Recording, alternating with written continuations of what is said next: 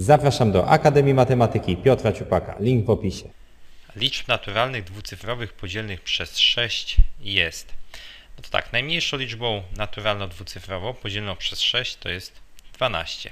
Następnie jest 18, 24, 30. No możemy wypisać, to wypiszmy, to będzie jedna z metod. 36, 42, 48, 54, 60, 66, 72, 78, 84, 90 i 96.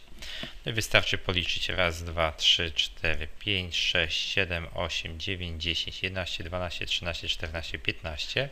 Odpowiedź D.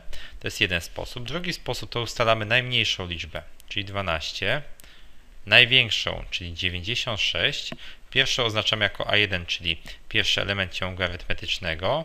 Druga z nich 18, czyli zobaczmy, możemy wywnioskować, że różnica tego ciągu wynosi 6, bo to są kolejne liczby podzielne przez 6, a to jest element an. I wtedy an to jest a1 dodać w nawiasie n-1 różnic, czyli 96 to jest a1, czyli 12, dodać w nawiasie n-1 razy 6.